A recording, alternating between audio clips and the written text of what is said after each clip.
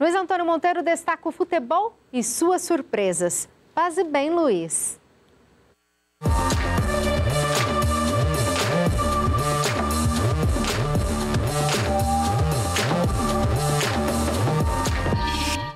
Paz e bem. O futebol é esporte, nem ciência e nem arte. Copa é jogo. O gol é o detalhe fundamental. Jogar melhor não é suficiente. Bola na trave não ganha jogo. Um gol bonito vale tanto quanto um gol feio. Tele Santana é melhor treinador do que Tite. Ambos comandaram a seleção brasileira em dois mundiais. O Brasil perdeu na Espanha e no México com um ótimo treinador e grandes craques. O Brasil perdeu na Rússia e no Catar com um bom treinador e bons jogadores. Padrões diferentes, esquemas diferentes, mas sem títulos.